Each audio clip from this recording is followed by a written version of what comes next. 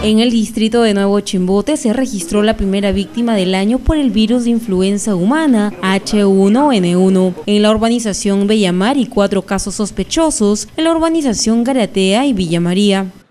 Ah, uno es un, es un joven, ¿no? Joven maduro de 23 años, ¿no? De la zona de acá del distrito de Nuevo Chimbote.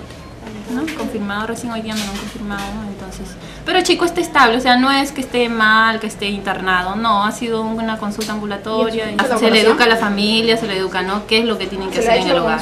Claro. ¿Y los otros casos, en, en qué sectores se hallan? Mm, Está en Garatea, este y Villa María.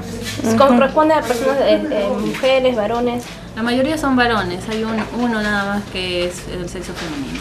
La jefa de inteligencia sanitaria de la red de salud Pacífico Sur, Karen Romero, informó que la primera víctima de esta mortal enfermedad es un joven de 23 años que llegó al hospital regional por una consulta ambulatoria, realizándose el examen correspondiente y confirmando este caso a través del Instituto Nacional de Salud de Lima.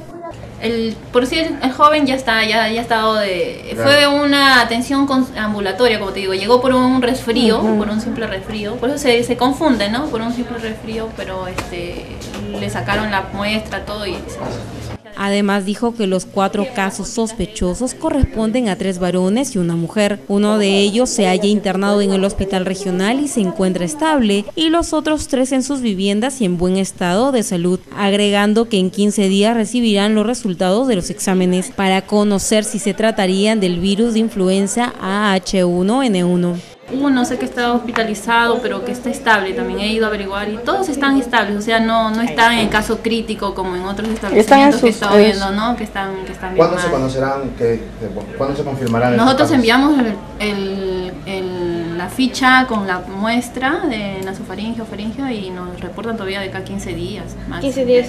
Romero Jare reforzó el llamado para que las personas que pertenecen a los grupos de alto riesgo de contagio, entre ellos los menores de 5 años y adultos mayores de 65 años, acudan a los centros de salud más cercanos y se vacunen. Se está yendo a hacer la búsqueda de casos, ¿no? Ir y vigilar esa zona, más que todo buscar a los niños menores de 5 años, a las gestantes, a las personas con enfermedades crónicas, ¿no? ¿Para qué? Para, medir las me- para tener las medidas preventivas. Aunque ya de, de antemano, cuando un paciente llega al consultorio, se le da, ¿no? Se le da la orientación de qué medidas debe tomar.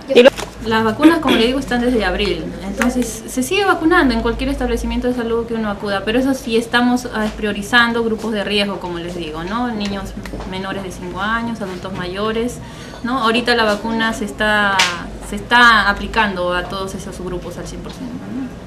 Ah, las medidas preventivas, lo principal, lavado de manos, a la hora de toser cubrirse, ¿no? Cubrirse con un papel desechable o con el brazo, no con las manos. Porque con eso, este, al dar la mano a otra persona, podemos contagiar, no solamente de H1N1, sino de otras enfermedades, ¿no? El lavado de manos siempre es recomendable en todo. Y evitar, ¿no? Este, salir a corrientes de aire, mantenerse abrigado, ¿no?